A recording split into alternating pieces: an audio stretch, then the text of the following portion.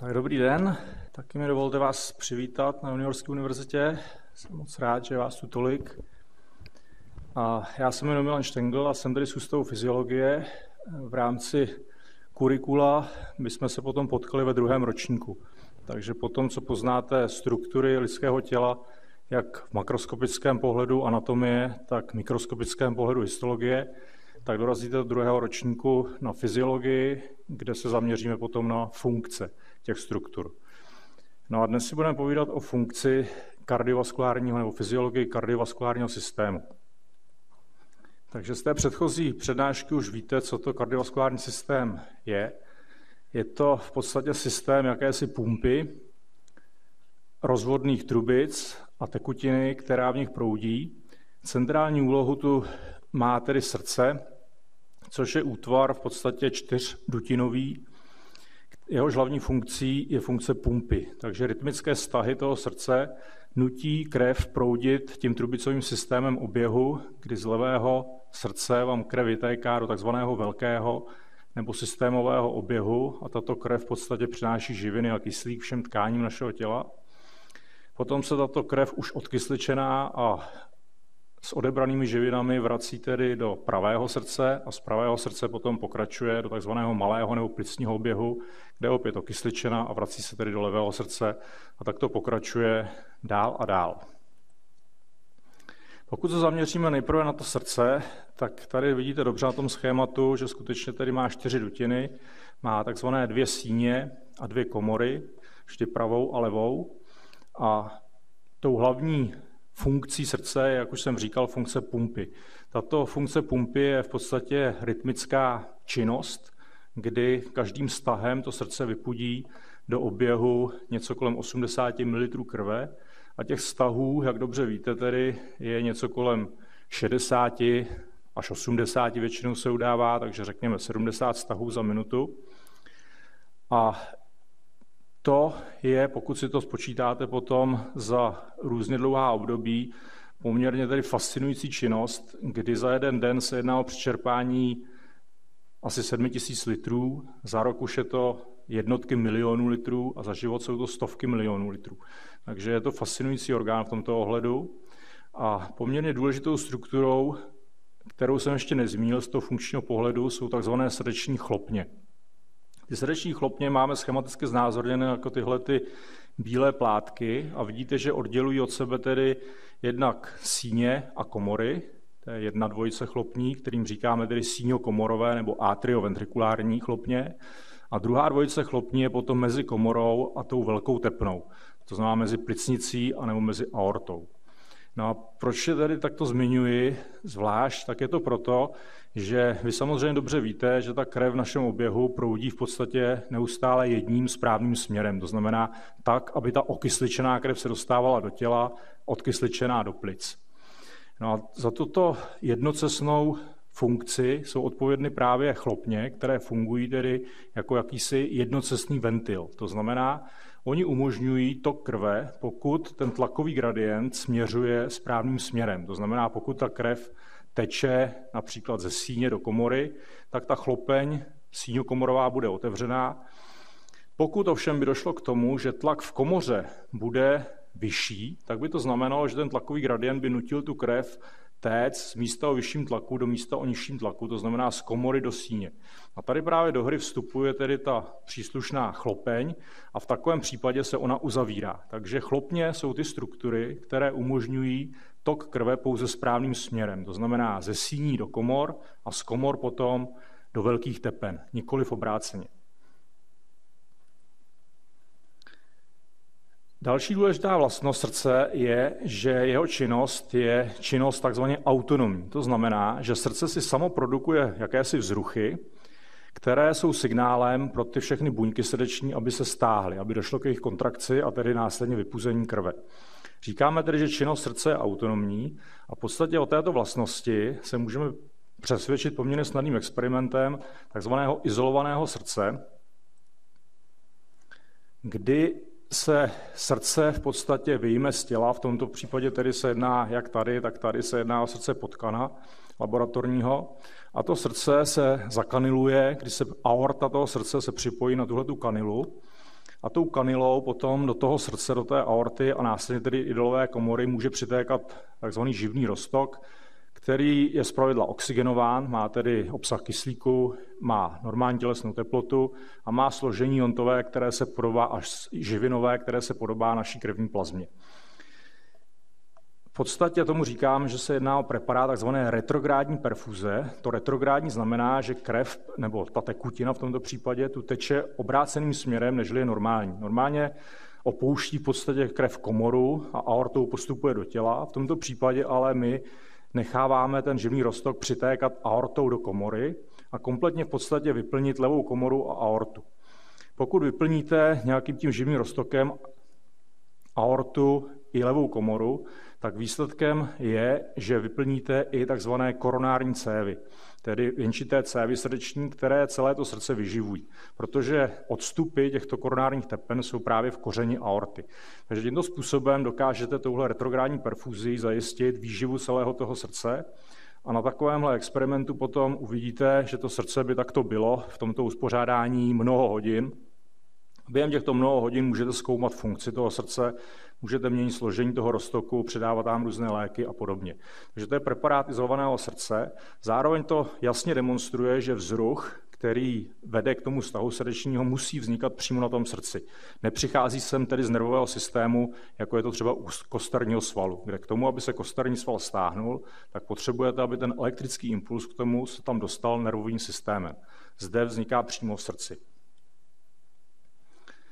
No a já se teď budu chvíli zaobírat tedy tímto, těmito elektrickými vlastnostmi srdce a potom na to navážu tedy, jak se dostaneme od toho elektrického signálu k té mechanické kontrakci a jak ta mechanická kontrakce na úrovni jediné buňky se nakonec přepíše do té synchronizované kontrakce celého srdce.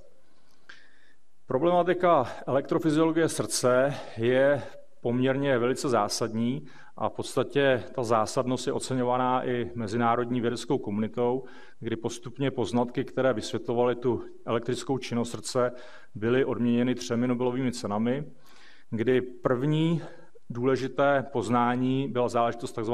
elektrokardiogramu, tedy to EKG, které všichni znáte jistě, což, se, což je v podstatě záznam elektrické aktivity celého srdce, Jedná se o záznam neinvazivní. Jo? To znamená, že nemusíme se dostat s nějakou elektrodou měřící až k srdci, ale můžeme to snímat z povrchu tělesného, protože naše tělo představuje tzv. objemový vodič, to znamená, je to vodivé prostředí a ten elektrický signál, který produkuje srdce, se došíří tedy, nebo šíří všemi těmi tkáněmi a můžete ho snímat i na tělesném povrchu elektrodami toho EKG, kdy za v podstatě vývoj toho elektrokardiogramu na, dá se říct, dnešní úroveň de facto, z technického pohledu, je zodpovědný nizozemský badatel Willem Eindhoven, který někdy na přelomu 19. a 20. století zdokonalil tzv. strunový galvanometr a z jeho pomocí potom získal elektrokardiogram, který svou kvalitou odpovídá v podstatě dnešním záznamu. Za to byl oceněn potom Nobelovou cenou v roce 24. Jak už jsem říkal, tenhle ten záznam celého srdce je víceméně jakousi sumou nebo součtem aktivit těch jednotlivých srdečních buněk. Takže nějakou elektrickou změnu můžeme pozorovat na úrovni každé buňky a když tedy sestupujeme v tom poznání potom na úroveň těch jednotlivých buněk, tak tady potom významné slovo měli tyto tři pánové, v podstatě australský a dva britští badatelé, Eccles, Hodgkin a Huxley – kteří dokázali popsat tu elektrickou změnu na úrovni jediné buňky, kdy to vidíme tady tedy, té elektrické změně na úrovni jedné buňky se říká akční napětí, a dokázali dokonce popsat, jaké jsou mechanismy, které k tomu vzniku té elektrické změny vedou na úrovni tzv. membránových kanálů nebo membránového transportu. Se k tomu ještě dostanu podrobněji později. A dokázali tohleto i matematicky popsat a formalizovat. Byli za to odměněni potom Nobelovou cenou v roce 63 a následně tedy na to navázali ještě pánové z Německa, pánové Neher a Sackmann, kteří dokázali popsat tyto elektrické signály na úrovni těch vlastních molekul, které za to můžou, které můžou za ten elektrický přenos na úrovni membrány, takzvaných jontových membránových kanálů, kdy dokázali tyto drobné proudy změřit technikou pečklempu neboli tedy trčíkového zámku a to bylo někdy na přelomu 70. a 80. let a získali za to Nobelovou cenu potom v roce 1991. Tak, jak to teda vypadá elektricky, když budeme postupovat od toho elektrokardiogramu na úroveň těch jednotlivých buněk. Takže tady vidíme ten záznam toho EKG, kde vidíte, že jsou tam v podstatě tři takové dominantní události. Je to takzvaná vlna P, ten, ta, ta první událost. Potom následuje soubor takových tří výrazných kmitů, kterým říkáme tedy kmity QRS, neboli tedy komorový komplex. A následuje tedy, nebo uzavírá to vlna T. Jo? Vlnu U můžete, nemusíte vidět. Jak už jsem říkal, výhoda elektrogramu je ta, že se jedná o ne- neinvazivní vyšetření, tedy nemusíte tedy pronikat do vnitřeckého těla, změříte to na, na tělesném povrchu, což je tedy zásadní výhoda z hlediska diagnostického. No a tahle ta aktivita, kterou dokážete zaznamenat na tom tělesném povrchu, tak je, jak už jsem říkal, sumou té postupné elektrické aktivity a aktivace všech těch buněk srdce, tak, jak ta sekvence tam probíhá. Takže k tomu, abychom rozuměli těmto událostem, tak musíme se stoupit na úroveň těch jednotlivých buněk, kde bychom zjistili, že z toho elektrického pohledu můžeme i vlastně funkčního pohledu, můžeme ty buňky rozdělit do dvou skupin. Ta naprosto dominantní skupina je skupina takzvaného pracovního myokardu. To jsou všechny buňky, které v podstatě její hlavní funkce je ta mechanická kontrakce, mechanický vztah, který potom na té synchronizované úrovni celého srdce vede k vypuzování té krve do velkých tepen a tak dále. Vedle toho existuje taková menší skupina specializovaných buněk, kterým říkáme převodní systém srdeční. A to jsou ty buňky, kde dochází ke vzniku, tomu autonomnímu vzniku toho elektrického signálu. Takže to je tam, kde ten signál tedy se vytváří. A tyto struktury tvoří tedy takzvaný synoatriální úzel, který najdeme tadyhle v pravé síni. Potom by to byl tzv. atrioventrikulární úzel, který, už se, který se vyskytuje rovněž v té pravé síni, ale blíže tedy v podstatě toho rozhraní s komorami. Pak následuje Hysův svazek, který převádí ten elektrický signál do oblasti komor a ten se potom větví na tzv. tavarová raménka, která se pak větví do síně tzv. purkyňových vláken. No, takže ten termín purkyňový vláken je termín, který je užívaný tedy celosvětově, takže tady můžete vidět významný příspěvek českého badatele pana Purkyně, i když tady v anglosaském světě se to Purkyně komolí na Parkinji, ale pořád je to tedy náš Purkyně. Tak a teď tedy po tom, co je ten signál rozveden touto převodní systém, tím převodním systémem v podstatě do celého toho srdce, tak on se potom postupně šíří těmi buňkami toho pracovního myokardu a v podstatě v nich vyvolává ten vztah, který je nějakým způsobem tedy díky tomu převodnímu systému synchronizovaný tak, aby ta hemodynamická funkce byla optimální. Jo? Takže v podstatě vztah té komory probíhá tady od toho hrotu a potom postupně tedy se blíží zpět k té bázi, takže se to srdce, tím, že se stahuje nejprve v oblasti toho hrotu a potom postupně dál, tak v podstatě vypuzuje, tlačí tu krev z té komory do toho ústí těch velkých tepen. Jak přesně to probíhá tedy v čase? Takže já už jsem říkal, že je tam teda vlna P, komorový komplex QRS a vlna T. Takže tady si to, nebo můžete vidět tedy, jak to probíhá v tom časovém sledu. Takže říkali jsme si, že vzruch vzniká tedy v tom autonomním nervovém systému. Přesněji v tom, autonomním, v tom převodním systému vzniká eh, na úrovni takzvaného primárního pacemakeru, což je tedy synoatriální uzel. Primární pacemaker obecně je část převodního systému, která ty vzruchy produkuje nejrychleji. Jo? Takže jinými slovy, ty ostatní části převodního systému jsou sice také schopny produkovat spontánně ty vzruchy, nicméně tedy nežli oni ten svůj vzruch vyprodukují, tak se k ním mezi tím došíří tedy z toho rychlejšího místa. Jo? Takže primární pacemaker je ten nejrychlejší a za normálních okolností je to ten synoatriální uzel. Takže v něm vznikne nějaký ten impuls, který se pak šíří tedy do té svaloviny síní a tenhle ten obraz té postupné, říkáme depolarizace, tedy změny polarity těch buněk síňových, se projeví tou vlnou P. Ja? Potom se dostaneme do situace, kde všechny ty buňky jsou depolarizované, tedy neprobíhá tam žádná změna tomto okamžiku, takže se vracíme zpátky na takzvanou izoelektrickou linii, kdy nevidíme tedy, že by se něco dělo. A mezi tím prostě ten vzruch pokračuje z těch síní přes ten převodní systém, přes Hisův svazek do komor a je zahájena následně tedy ta depolarizace, tedy změna membránového napětí na úrovni těch komorových buněk, což se projeví tedy postupně, jak se to šíří, nejprve tedy od septa postupně tedy do odhrotu až na bázi tedy v těch komor, tak se nám tam objeví kombinace těch kmitů Q, R a S. Pak se tedy zase vracíme na izoelektrickou linii, kdy jsou tentokrát celé ty komory už depolarizovány, takže zase nám tu chvíli jako nic neprobíhá, nic se neděje, žádná změna. A potom se oni vrací tedy zase na to své normální napětí, dochází tedy k jejich repolarizaci, což je obraz té vlny. Takže tímto způsobem tedy to pokračuje, no a pak následně tedy se opět objeví nový impuls na synoatriálním uzlu, ale se to pokračuje znovu a znovu, přičemž tohle to celé proběhne tedy zhruba za tu jednu vteřinu. Takže se dostáváme na těch zhruba 60 úderů za minutu. Říkal jsem, že tento záznam elektrokardiogramu je záznam aktivity celého toho srdce. Takže ty vlny P, Q, S a T musíme být schopni nějak přeložit do těch změn napětí na úrovni jednotlivé buňky. A ty změny napětí na úrovni jednotlivé buňky vidíte znázorněny tadyhle, těmahle tenkýma čárama. Takže tohle by bylo ta elektrická změna neboli akční napětí v synoatriálním uzlu. Takhle by vypadalo to akční napětí, ten signál v síních.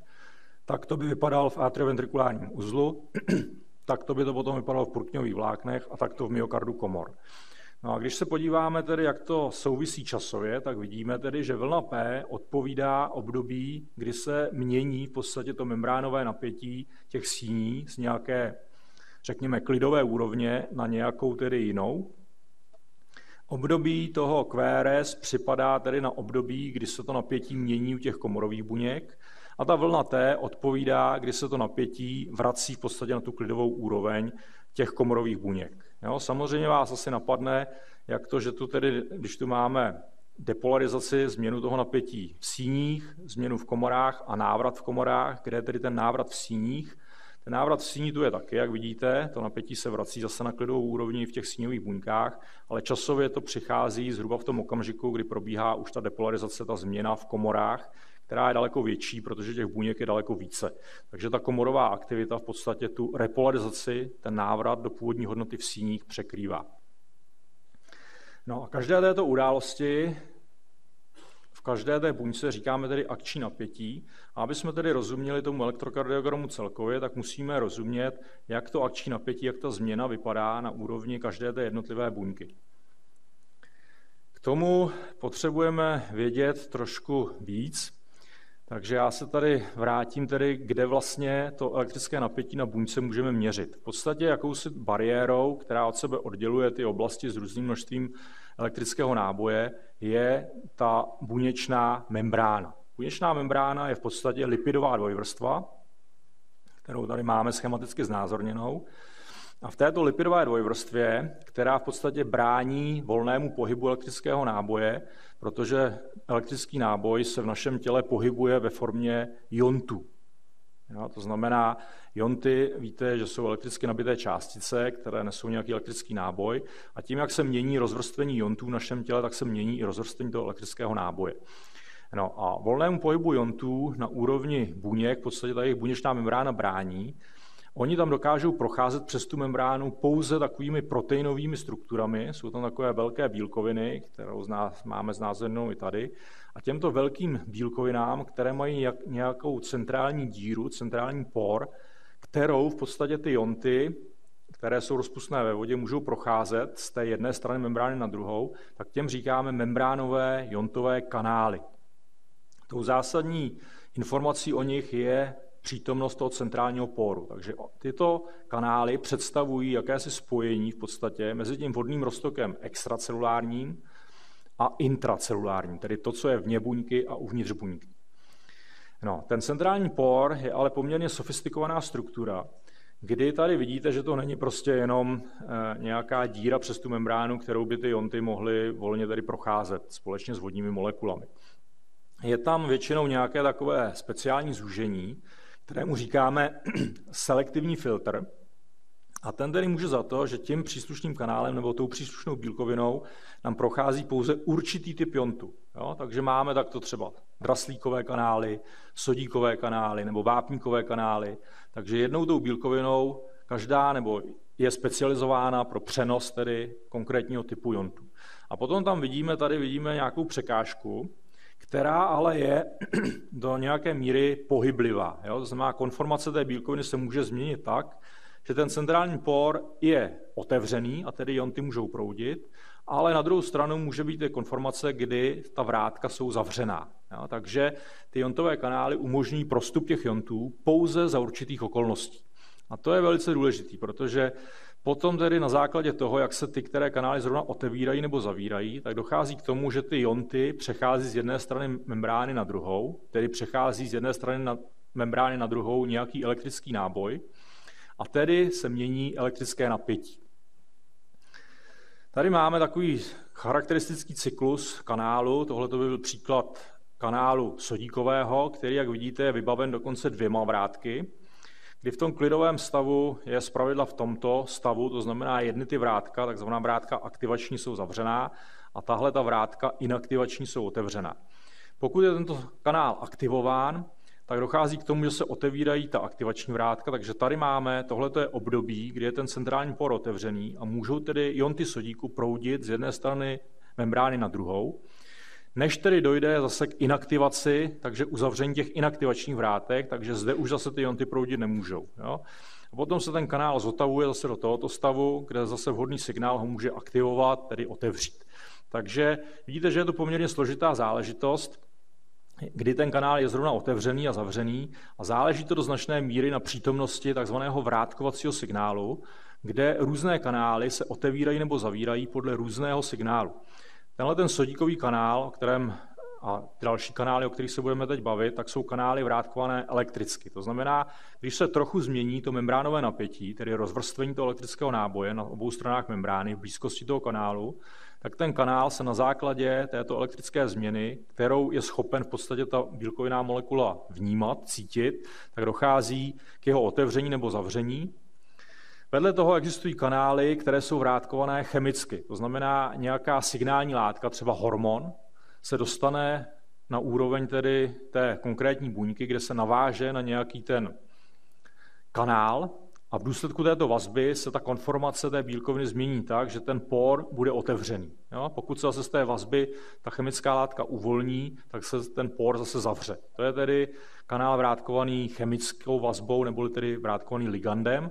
A konečně můžete některé ty kanály otevírat nebo zavírat v podstatě mechanickou tenzí. To znamená, jak byste tlačili, roztahovali tu okolní membránu, tak podle toho by se ty kanály zavíraly nebo otevíraly a najdete takové kanály, najdete třeba v našich smyslových ústrojích.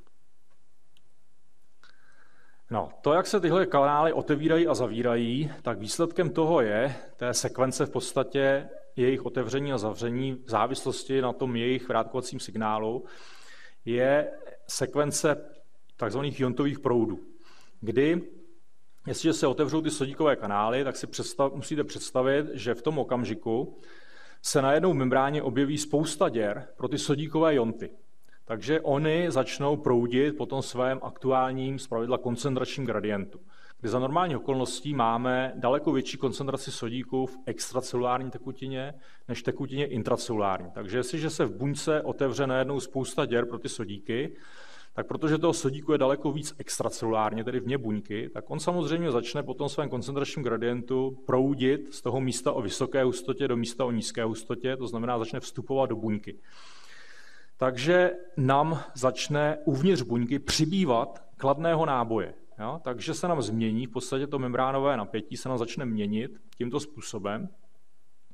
To znamená z té klidové úrovně, které říkáme tedy klidové membránové napětí, které má pravidla úroveň něco kolem minus 80 mV, jo, takže nejsou to žádná tedy velká napětí, jsme na úrovni tedy milivoltů, jo, desítek milivoltů. Tak v tom okamžiku v podstatě nám přibývá v buňce kladného náboje, takže ona z té záporné hodnoty, kdy tedy, což znamená, že normálně je uvnitř buňky o něco méně kationtů než vně buňky. Jo? Proto má ta hodnota zápornou hodnotu. Je to tedy uváděno z pohledu toho intracelulárního. Tak nám tam začne přibývat kladného náboje, což znamená, že ta záporná hodnota začne být méně a méně záporná, jo? protože tam přibývá kladného náboje. A říkáme tedy, že ta buňka ztrácí svoji polaritu, která je normálně tedy záporná, jak jsme si říkali, a tedy depolarizuje. Jo? Ztrácí polaritu, depolarizuje a pohybuje se tedy z té záporné hodnoty směrem k nule, a jak tady vidíte, tak se dostane dokonce nad úroveň nuly. Jo, takže tady máme nějaké období, tohle to odpovídá tedy úrovni 0 mV, tahle ta linie. Takže zde celé tohleto období v podstatě se nacházíme v období, kdy ta buňka je vlastně přepolovaná proti tomu svému klidovému stavu. To je normálně záporná, to napětí uvnitř tedy je záporné, je tam méně kationtů než vně, ale po tohleto krátké období ona bude transpolarovaná, přepolovaná, protože pro tohle období ten vnitřek buňky je nabitý kladně vůči tomu extracelulárnímu prostředí. Jo, takže tomu říkáme transpolarizace. No a pak už následuje tedy návrat v podstatě těm původním klidovým hodnotám, to znamená, vrací se na ty normální záporné hodnoty, takže tomu říkáme repolarizace, zase získává tu svoji normální polaritu. Celá tahle událost toho akčního napětí v srdečních buňkách trvá stovky milisekund. Takže tenhle ten děj je z hlediska tedy biologických procesů relativně dlouhý, jo, protože tyhle ty akční napětí můžete měřit i na nervu, na neuronech nebo na kosterních svalech. A tam v podstatě celé tohleto trvání je na úrovni jednotek milisekund. Jo, tam by to trvalo jednu, dvě milisekundy u nervu, dvě, čtyři milisekundy u kosterního svalu. Takže tady máme něco velice speciálního, kdy to trvá stovky milisekund. A proč je to důležité, ty stovky milisekund, to si řekneme tady za chvilku.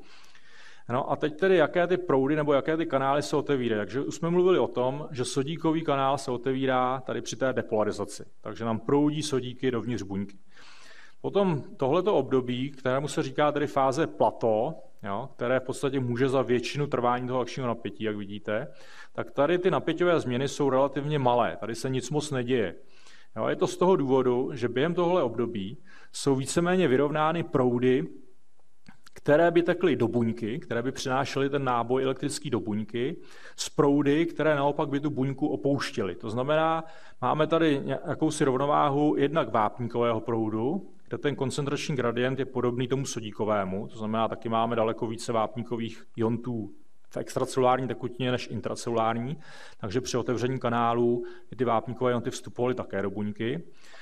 Tak je v rovnováze s dvojicí v podstatě draslíkových proudů. Jo, draslíkové proudy se liší od těch sodíkových a vápníkových v tom ohledu, že draslík nebo rovnováha draslíková je vlastně opačná k tomu sodíku. Jo. Draslíku máme poměrně hodně uvnitř buňky, ale relativně nízká koncentrace extracelulárně. Takže jestliže se nám otevřou kanály pro draslíkové jonty, tak ty draslíkové jonty opouštějí buňku. No, takže v tomhle případě tedy bychom o ty jonty s kladným nábojem přicházeli, takže výsledkem je, že toho kladného náboje uvnitř buňky by ubývalo a proto tedy bychom se vraceli potom do těch zase záporných hodnot. Jo? No a potom se tedy někde kolem skončení toho fáze plato se přidává ještě další významný draslíkový proud, který postupně tedy přibývají. Jsou to takzvané tedy draslíkové proudy opožděně rektifikující a ty můžou tedy za ten návrat do toho původního klidového stavu, kde v podstatě tou dominantní proudovou komponentou je takzvaný draslíkový proud pozadí. Takže tohle je podstata v podstatě té elektrické změny na úrovni jediné buňky. Je to tedy důsledek jakéhosi synchronizovaného na sebe navazujícího otevírání a zavírání těch bílkovin, které nám přemostují membránu, jo, tedy membránových iontových kanálů. Takže, jak vidíte, je to poměrně složitá záležitost a vzhledem k tomu, že ty membránové kanály nám v podstatě neustále zanikají a jsou zase znovu vytvářeny, tak tu máme poměrně značně dynamický systém, který se může taky poměrně snadno porouchat. Jak je tomu tedy s tím převodním systémem? Jak ten elektrický signál vypadá v tom převodním systému? Tam ten elektrický signál je trošku jiný, protože je jiná skladba těch bílkovin. Jo? Takže exprese těch bílkovin v membráně, které fungují jako membránové kanály, je tady odlišná. Nacházíme tu tedy trošku jiné kanály, nebo některé jsou trošku jiné, některé tu chybí. Chybí tu třeba ten draslíkový proud pozadí. Takže proto v těchto buňkách převodního systému nemáme v podstatě klidovou hodnotu. Jo? Vidíte, že tady se pořád něco děje, pořád se to napětí mění v čase. Jo? Nezůstává na té stálé úrovni jako tomu bylo tedy v těch pracovních buňkách, kdy tady máme tu hodnotu klidového membránového napětí a na ní nasedá tedy to akční napětí, které v podstatě vznikne, pokud se sem došíří ten signál z okolí, právě z té převodní soustavy. Ta převodní soustava je schopná spontánně v podstatě produkovat i vzruchy, což je dáno tedy tím, že tu chybí ten stabilizující draslíkový proud. A ta sestava je taková, že tu dosáhneme nějakého maximálního bodu, což je takzvaný maximální diastolický potenciál, který má ale hodnotu minus 60 mV. Jo? Takže je to podstatně tedy, ta tkáň převodní je stále depolarizována relativně k té pracovní. Jo? Minus 60 mV je tady maximální hodnota, zatímco u těch pracovních buněk běžně dosahujeme minus 80 až minus 90 mV. Ano, a po dosažení tohoto bodu se zde v podstatě zase některé kanály už začínají otevírat, takže začíná zase už ten kladný náboj, ty kationty proudí do buňky a tedy to napětí zase postupně depolarizuje. A tohle, tahle ta depolarizace, které říkáme pomalá diastolická depolarizace, a je to tedy vlastnost typická pro ty převodní buňky, tak ta je potom, na ní nasazuje zase rychlejší fáze té depolarizace, která je následovaná potom zase repolarizací. Vidíte tedy, že v podstatě nám tu chybí jak ten rastlíkový proud pozadí, tak se tu neuplatňuje ani ten sodíkový kanál, který může za tu rychlou depolarizaci u těch pracovních buněk. V podstatě tady ta rychlá i tahle ta pomalejší terminální fáze je zprostředkována vápníkovými kanály, vápníkovými proudy. A přispívá potom k tomuto období takzvaný tedy IF, kde to F znamená tedy funny, ale byl proud, který jehož vlastnosti tedy se dlouho zdály jako velice podivné, takže výzkumníci ho překřtili na funny current, srandovní proud a už mu to zůstalo. Ja, takže dneska mu říkáme IF, vypadá to velice tedy vědecky, ale zase tak vědecký to není. No a tento IF, který se postupně aktivuje a je převážně sodíkový, tak ten může tedy za tu fázi téhleté pomalé diastolické depolarizaci tady v těch zápornějších oblastech. Tak, já jsem vám několikrát zdůrazňoval, že srdce je autonomní orgán, to znamená, že vlastně nepotřebuje nervové impulzy. Nepotřebuje je k té bazální produkci těch vzruchů. Ty skutečně vznikají na úrovni toho vlastního srdce, jak nám dokazuje ten experiment toho izolovaného srdce. Nicméně srdce pod nervovou kontrolou je. Jo, ta nervová kontrola neznamená, že by ten impuls, ten vlastní, vznikal v nervovém systému a pak byl převeden tedy na to srdce, ale ta nervová regulace znamená, že nervový systém dokáže tu vlastní aktivitu, vlastní autonomní aktivitu toho srdce nějakým způsobem regulovat, aby byla podle potřeb organismu buď rychlejší nebo pomalejší. Jo? Systém, který řídí to naše srdce, víte, že je systém, který volně neřídíme, takže je to takzvaný autonomní nervový systém, který má dvě části, sympatickou a parasympatickou, kdy sympatikus má povšechně stimulační účinky a tyto stimulační účinky se projeví i na úrovni toho srdce tím, že tedy to srdce bude být rychleji, takže hovoříme o takzvaném pozitivně chronotropním účinku, bude být i silněji, což označujeme jako pozitivně inotropní účinek. Na druhou stranu parasympatikus, tak ten tedy má ty účinky negativní. Ten by tedy to, tu činnost srdce zpomaloval, e, přispíval by i ke slabšímu, ke slabší kontrakci, ale tam je to tedy nepřímo. A výsledkem tedy je regulace té základní činnosti, té základní elektrické aktivity, kterou jsme si právě popsali, kdy ty, oba tyto systémy ovlivňují v podstatě ty příslušné bílkoviny, kdy na základě jejich signálních kaskád dochází k fosforilaci nebo defosforilaci těch příslušných proteinů, těch příslušných membránových kanálů. A oni na základě tedy téhle fosforilace mění tu svoji funkci. To znamená, že se otevírají nebo zavírají rychleji, častěji. A výsledkem je tedy, že v případě účinku toho parasympatiku dojde k tomu, že zejména tedy ta pomalá diastolická depolarizace, jo, kterou vidíme tady v tom klidovém stavu, by se zpomalovala, prodlužovala. Jo. Způsobí to tedy takzvaný acetylcholin senzitivní traslíkový proud, který se tady otevírá, v podstatě přidává k těm normálním proudovým komponentám a může za to, že dosahujeme tedy zápornější hodnoty maximální diastolická depolarizace, takže dostaneme se níže v tom napětí a tohle to potom poběží pomaleji. Jo? Takže místo, aby jsme měli těch 60 úderů za minutu, tak jich bude třeba jenom 50.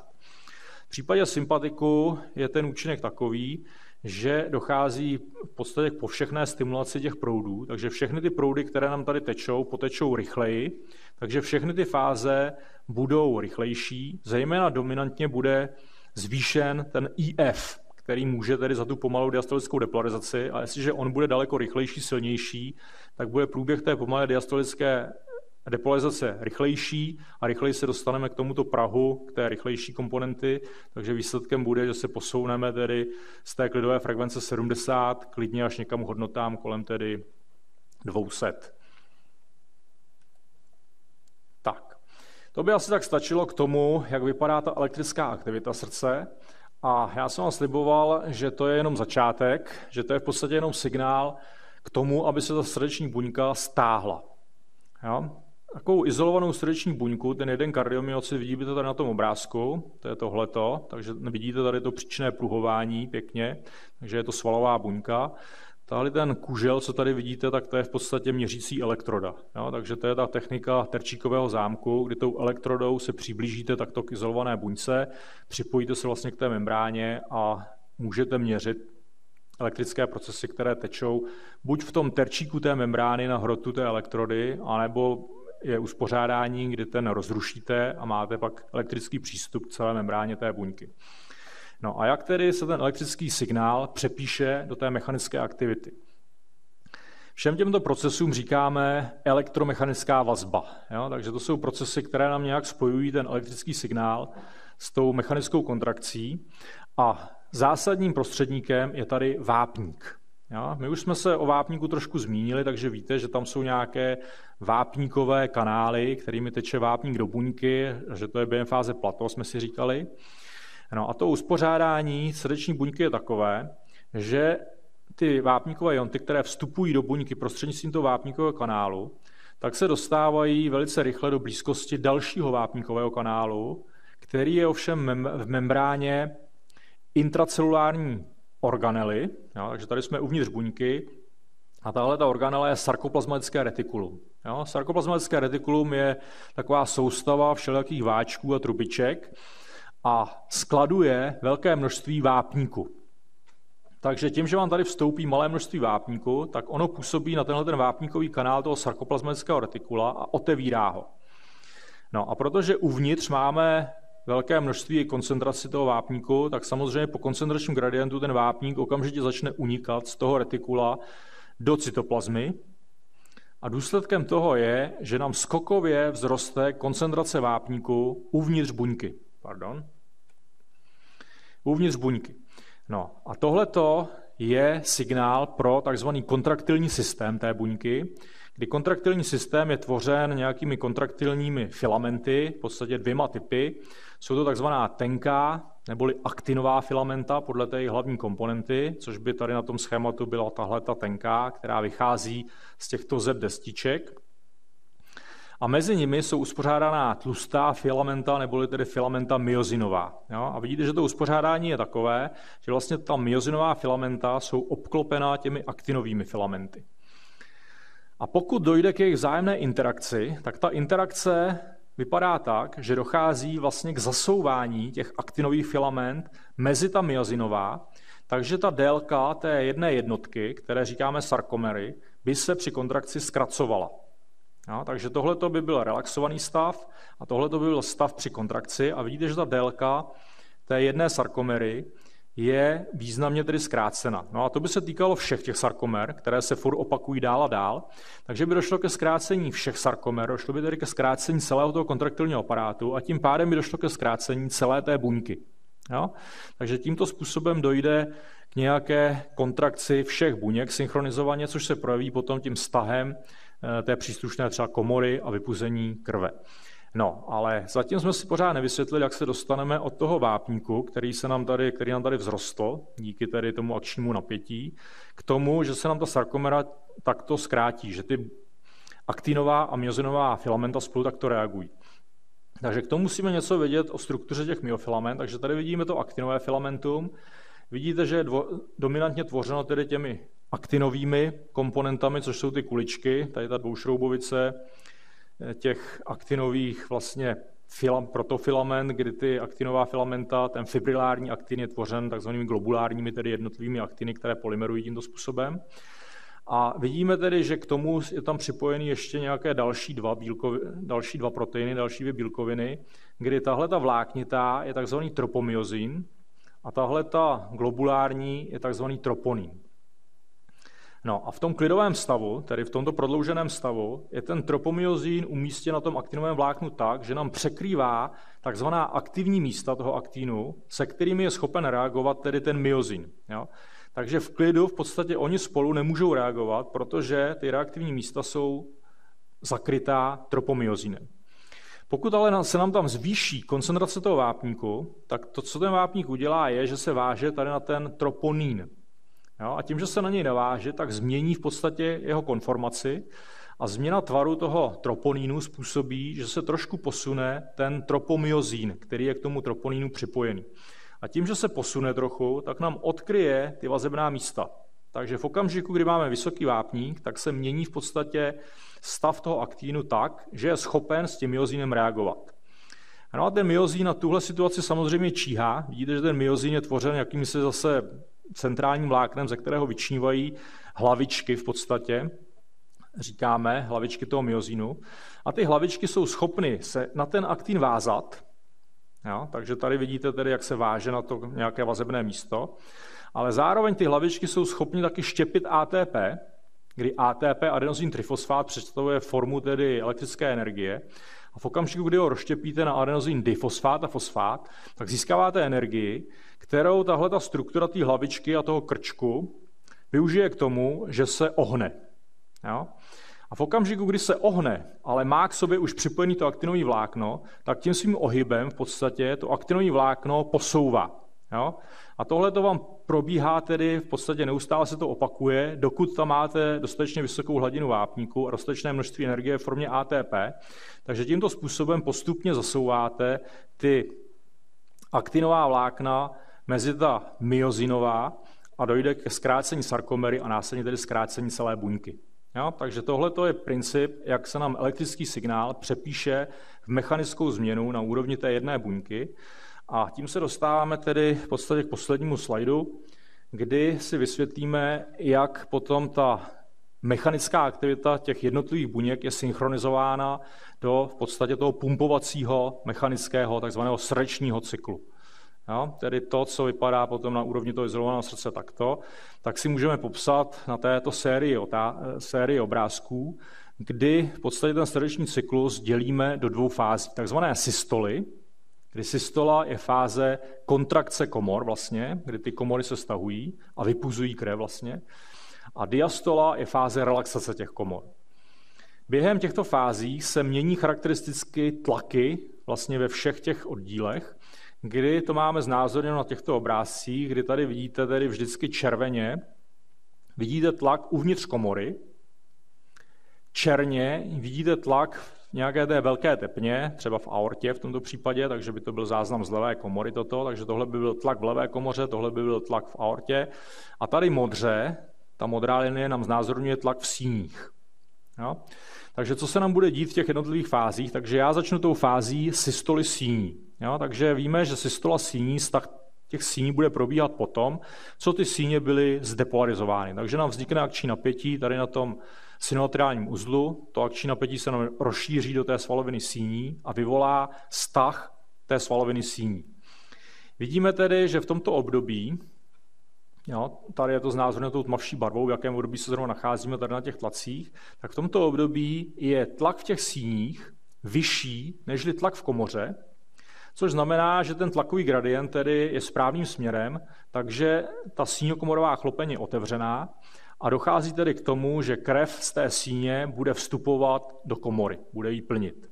Jo. Zároveň ovšem vidíme, že během tohoto období je tlak v podstatě v té komoře významně nižší než tlak ve velké tepně. Jo. Takže tlak v aortě by byl eh, podstatně vyšší, což znamená, že by to nutilo tu krev téct vlastně z té aorty do komory. Jo? A to víme, že to nechceme, takže ta chlopeň semilunární toto neumožňuje a ta je v tuto chvíli tedy zavřená. Jo? Takže chlopeň do aorty, nebo to by byla tahleta, je zavřená zatímco tedy ta síňokomorová je otevřená a dochází tedy ještě k nějakému plnění té komory tou krví ze síně, takže vidíte, že objem, což je tato modrá linie dole, tak ten by jako měl tendenci narůstat. Potom dojde k tomu, že ten elektrický signál přestoupí přes ten převodní systém do komory a je zahájeno tedy akční napětí se rozšíří po celé té komoře a je zahájena kontrakce komory. Takže se dostáváme tedy do fáze systoly. Z té systoly síní se dostáváme do fáze systoly komor. A zde zpočátku probíhá takzvaná izovolumická kontrakce. Izovolumická znamená, že objem je stejný. Objem zůstává celou tu dobu stejný. Jak je to možné? To vidíme zase tady na těch tlacích. Jo? Takže to období izovolumické kontrakce vidíme tadyhle. Takže vidíme, že během tohohle období tlak v komoře nám prudce narůstá. Jo? Vidíme, že roste. Ale během celého toho období je významně vyšší než v síni. To znamená, že krev by byla nucena proudit z komory do síně. To všem neumožní tedy síňokomorová chlopeň, takže ta, bude, ta se uzavře, takže ta je uzavřená a nemůže tedy ta krev otékat do síně. Zároveň ale vidíme, že během toho období je ten tlak v komoře pořád nižší, nežli tlak ve velké tepně. Takže díky tomu tedy je i ta takzvaná poloměstitá nebo semilunární chlopeň uzavřená. Takže sice nám tady probíhá kontrakce té komory, nicméně obě ty chlopně jsou zavřené, takže krev nemůže opouštět v podstatě tu dutinu, což znamená, že zde musí prudce narůstat tlak a to, tak se to děje. Posléze se dostaneme do bodu, kdy ten tlak naroste tak moc, že převýší úroveň toho tlaku ve velké tepně. Tím pádem mezi velkou tepnou a komorou máme teď správný takový gradient, kdy ta krev opouští komoru a vstupuje do velké tepny. Ta chlopeň tedy se otevírá a dochází k ejekční fázi. Jo? Takže ejekční fáze potom je fáze, kdy krev opouští komoru, kdy je vypuzováno tedy z toho takzvaného endiastolického objemu ta část těch 80 ml, která tedy se tím tlakovým gradientem dostává v podstatě během kontrakce těch komor, se dostává ven do těch velkých tepen. Tím, jak tady postupně tedy té krve ubývá a ta kontrakce tedy dosahuje svého vrcholu a posléze tedy začne přecházet do relaxace, tak se nám nakonec ten tlak tady začne postupně tedy snižovat. A v okamžiku, kdy se dostane zase pod úroveň toho tlaku ve velké tepně, jo, tak se dostáváme do další fáze a to je fáze tedy diastoly už a tentokrát je to fáze zase izovolumická, zase objem nebude měnit, ale relaxace. Jo? Takže během této izovolumické relaxace vidíme, že ten tlak prudce klesá, což je dáno tím tedy, že ten sval srdeční komorový relaxuje, nicméně chlopně obě dvě jsou pořád uzavřeny, protože tlak je pořád ještě tedy vyšší než v síních, takže síňokomorová chlopeň je zavřená, ale je už nižší tedy než ve velké tepně, takže semilunární chlopeň je také zavřená. Takže sval si se relaxuje, ale chlopně jsou zavřené, takže objem se nemůže měnit a tím pádem prudce klesá tlak, který posléze spadne až pod úroveň toho tlaku síňového. Jo, tadyhle vidíte, čím se dostáváme do další fáze diastoly, a to je fáze plnění, kdy v síni, do síně mezi tím celou tu dobu přitýká v podstatě krev, takže tam ten tlak, vidíte, má tendenci během toho období postupně narůstat a nakonec se dostanete na vyšší úroveň, než je ten tlak komorový, který klesá, v důsledku čehož se nám zase ta síňo komorová chlopeň otevře a dochází tedy k tomu, že do té komory začne ze síně zpočátku prudce přitékat krev, to je fáze takzvaného rychlého plnění, to pak se to zpomaluje na fázi pomalého plnění a nakonec tedy přichází nový akční potenciál, zase na synotrálním uzlu a dostáváme se zase na systolu síní a všechno se to opakuje furt dál a dál. Jo? Takže to nakonec tedy vede k tomu, že za náš život to srdce přečerpá stovky milionů litrů. A to je za mě všechno. Já vám děkuji za pozornost. Přeju vám, ať se vám všechno podaří v příštím roce a doufám, že se uvidíme za ty dva roky jo, na fyziologii. Díky.